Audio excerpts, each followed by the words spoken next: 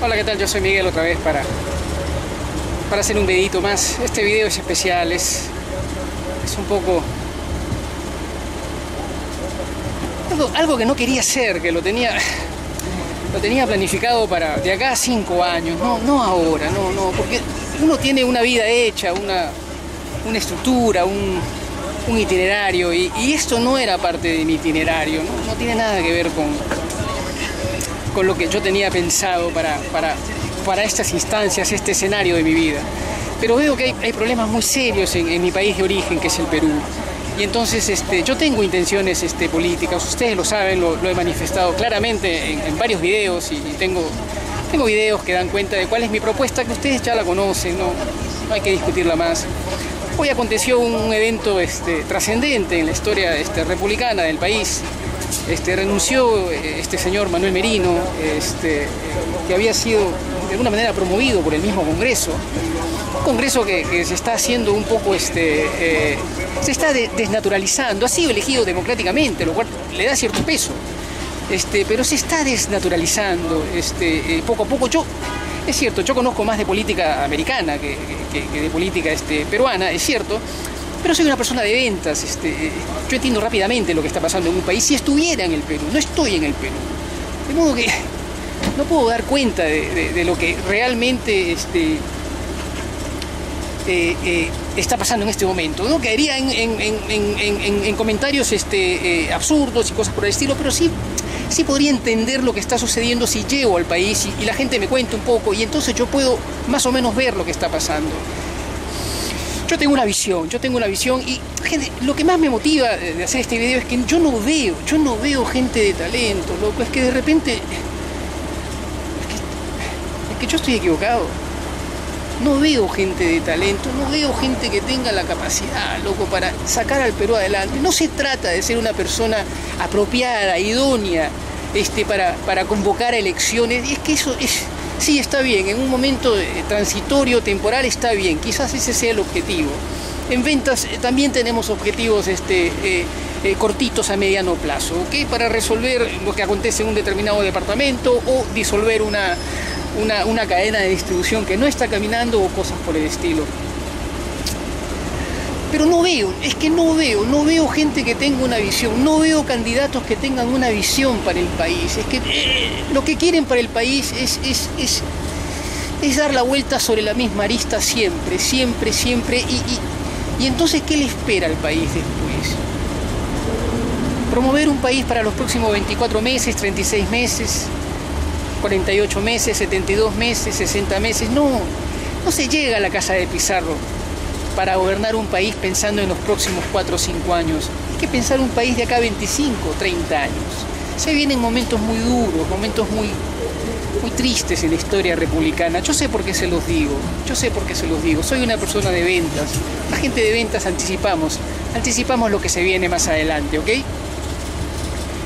Ustedes han visto, tienen, pueden acceder a mi, a mi website este, política, tengo una website donde ya estoy promoviendo, este, no la puedo armar, es, es, está, está, eh, está armada a través de WordPress, que es, es una locura, es una locura, lo hubiera hecho a través de GoDaddy, que yo siempre me manejo a través de GoDaddy, pero lo hice a través de WordPress, en fin, porque soy un tarado, por meterme en líos que, no, que en realidad no conozco, así que voy a tener que pedir que me den una manito. Eh, verán que ustedes la plataforma, la, base estructural, la columna vertebral del, del, website es, es la parte original americana. Este, ya la, la, voy a empezar a completar para que ustedes vean este, más o menos cuáles son las intenciones. Ustedes saben, yo soy republicano, monárquico, con fuertes tendencias libertarias. Esa es mi propuesta para el país.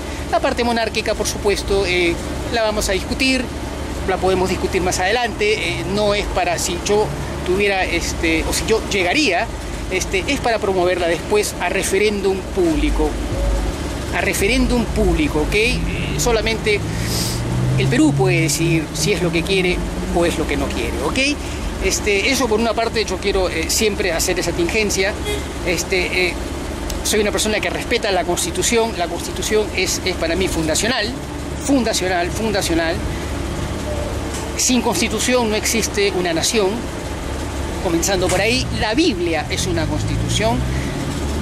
Soy una persona que se ciñe a los conceptos judeo-cristianos de Abraham, Jacob e Isaac, ¿ok? Eso para mí es, es, es fundacional en mi vida. Este, no soy un santito, queda claro, como ninguno de ustedes, que arroje la primera piedra el que esté libre de pecado. Lo dijo Jesús, yo no lo dije, lo dijo Jesús. El que se hizo llamar el Hijo de Dios. De modo que bueno, ah, no lo quería hacer, pero lo, voy a tener que hacer. Estaría regresando apenas el Perú permita que se pueda regresar. Quiero regresar, formalizar este, mi partido por un Perú próspero y productivo, las, las 5 P's eh, eh, quiero formalizar el, partido en, el Perú, en la misma Lima, y después este, acercarlo a todas las provincias. Este, los invito a ustedes, a los que quieran participar, los que más o menos adscriban a mi tendencia libertaria, es una tendencia eh, liberal, por supuesto, pero con una propuesta monárquica, republicana, republicana siempre, respetando la Constitución, ¿ok? Nada del otro mundo, ninguna locura, yo no, no hablo de locuras, pero quiero que más adelante el Perú se dirija al reino de España como reino. Que el Perú se dirija al reino de Inglaterra, o al reino británico, mejor dicho, como reino. Más adelante. No es un tema prioritario para ahora. Para ahora existen otras cosas. Ustedes conocen mi planteamiento. El primero, número uno, promover los productos más conspicuos del Perú de manera agresiva. Número dos, lanzar una propuesta turística que no solamente sea agresiva, sino que sea fulminante. Y número tres, ustedes lo saben, todos ustedes lo saben, conocen cuál es mi, filosofía de vida, una defensa nacional muy fuerte, muy fuerte, muy bien preparada para de aquí a 25 o 30 años. No tengo que redundar en el tema, ustedes lo saben perfectamente. Estaría eh, viajando al Perú para formar este partido, para formalizar este partido eh, legalmente ante el Jurado Nacional de Elecciones en más o menos unas tres semanas, Dios mediante, eh, tengo que hablar con la compañía para la que trabajo, obviamente, pedir unos días, este, que se me dé permiso de salir y de regresar sin ningún problema. Este, tengo que ver cómo son estos trámites eh, con respecto al coronavirus, que, bueno, hay que, hay, que, este, hay que cumplir con el protocolo. Este, y yo sé que hay gente que, me sigue, gente que, me esperaría, gente que se reuniría conmigo si hago una, una convocatoria en un hotel, en una plaza pública, lo que sea. No sé cuáles son las leyes que rigen en el país para convocar gente, si uno se puede reunir, si, nos podemos congregar. Este, eh, eh, de hecho, hago un llamado este, a, la gente de la selva, mi madre es este, eh, que, me apoyen en, todo momento, Requena, Contamana, Pucalpa, Pucalpa mi, bisabuelito fundó la ciudad de Pucallpa con otros dos fundadores, ciertamente, no fue solo, este, don Manuel Donaire, y hago un llamado también, yo soy católico, pero a la comunidad evangélica, a los que los tengo en mi corazón, este, siempre los tengo en mi corazón, eh, tengo una fuerte, una fuerte, fuerte tendencia evangélica, leo la Biblia, conozco la palabra, pero soy de familia católica, soy de familia católica, ¿ok? Este, y, nunca me he convertido, creo que no es eso necesario, este, sigo siendo católico, este, pero mi corazoncito es evangélico. Queda claro que soy una persona de ventas. Ahora bien, entonces este, eh, estaría regresando, eh, eh, serían unas tres semanas más o menos, quiero formar este partido, quiero elegir a los quienes van a ser los líderes este, del partido, líderes de provincia, este, quiero ver cuáles son las opciones que tengo de, participar en estas elecciones. Yo no quería, yo me quería guardar para las próximas elecciones de acá cinco años. Este, pero bueno, es que lamentablemente me veo impelido, me veo impelido a tomar esta decisión de regresar. Yo tengo ya todo un equipo que, si, las cosas se dieran, yo ya tengo todo un equipo que estaría listo a trabajar conmigo este, y la gente que por supuesto yo conocería, eh, peruanos, que se incorporarían y, colaborarían para sacar el Perú hacia adelante, pero con una visión, una visión, una visión, una visión, una visión. No se puede llegar a la casa de Pizarro sin una visión. Hay que tener una visión de país una visión de país, una visión de país. Es la única forma de llegar a la casa de Pizarro, con una visión, con una visión. Hay que tener una visión de país. No se puede seguir jugando a la política con 32 millones de peruanos. Hay que tener una visión. Yo tengo esa visión. Espérenme, son tres semanas más o menos, les pido tres semanas para reunirnos, para conocernos, para formalizar este partido y para ver qué opciones tengo de Ah, meterme a estas próximas elecciones. Creo que es un poquito tarde para mí, pero el pueblo decide. El pueblo decide, el pueblo decide. A los que manejen redes sociales, a los que entiendan de esto, por favor, si ustedes están de acuerdo conmigo, empiecen a darle la vuelta a este mensaje. Empiecen a darle la vuelta a este mensaje. Me encantaría tener una entrevista con Hugo Javier a, a propósito de quien hice un video me encanta, me encanta todo el trabajo que él hace, me encantaría que esa es la única persona a la que le daría una entrevista inmediatamente. Hugo Javier, me parece estupendo este muchacho, estupendo, A1, de lo mejorcito que ha sacado el país, A1, A1. Eh, entonces, este, serían tres semanas.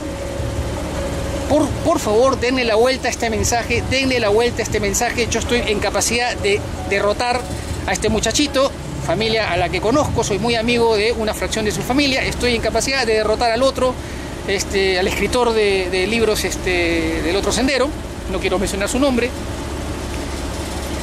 Yo tengo una visión y tengo la formación académica mi formación académica es, monstruosa, es directamente monstruosa, es indiscutible, ustedes me escuchan, saben de qué vengo premunido, pero sobre todo yo tengo una visión, una visión, una visión, una visión, algo que ninguno de estos señores tiene. Yo tengo una visión para el país, una visión para el país, una visión para el país. Conmigo se terminan muchas cosas, ciertamente, pero eso es parte de la visión. Eso es parte de la visión servicio militar obligatorio. Ustedes ya saben cuál es mi, propuesta. Ya lo he manifestado. Espérenme tres semanas. Yo no quería hacer esto realmente, pero me veo obligado, me veo impelido. Es, es un llamado muy fuerte, ¿ok? Es un llamado muy fuerte. Cuando hablamos de llamado, el llamado, el llamado no solamente es del pueblo, el llamado viene de Dios. Yo soy Miguel. Ya estoy con ustedes, ya regreso, apenas, apenas, apenas reciba la aprobación de la compañía para la que trabajo y apenas el Perú permita los retornos del exterior. Yo soy Miguel. Vamos que se puede, vamos que se puede, porque yo creo en ti. Adiós, chao, chao.